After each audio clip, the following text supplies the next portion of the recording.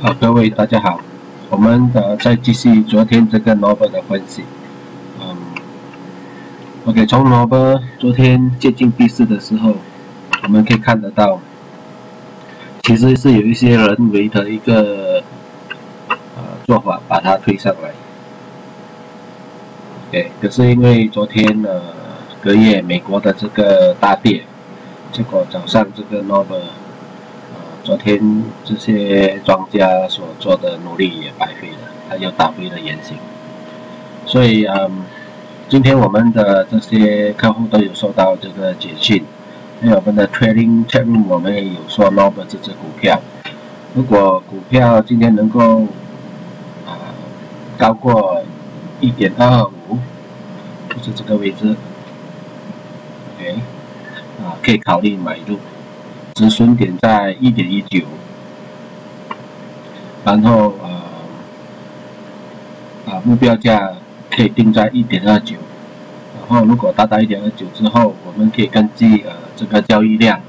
可能可以提高到一点三九。OK，呃现在做一些比较详细的分析，所以我们可以知道这个 Nova 自从这个暴跌之后。这个暴跌之后，啊，四毛钱，百分之二十六八千的暴跌之后，经过了一个呃底部的刺探，然后进入这个横盘区区域，只要一进入这个青色的线，就进入一个横盘的区域，然后其实我目前还是还是在一个横盘的区域，OK，是在上下窄幅的波动。然后呢，呃，随着时间的延续，只要价钱一涨上这个红线，呃，大概会在一点二五这个位置发生，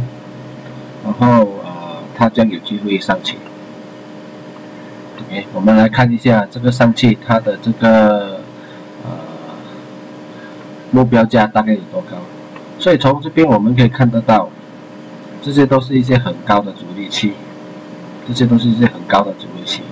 你可以看到这些是厚厚很高的阻力起来，所以我们的目标价一点二九、一点三九也是从这些位置分析出来的。OK，这个是另外一个比较长长周期的阻力。所以在这个长周期的阻力，我们也看得到，就是说目前呃这个压力在这个位置。就是在这个一点二三到一点二六之间，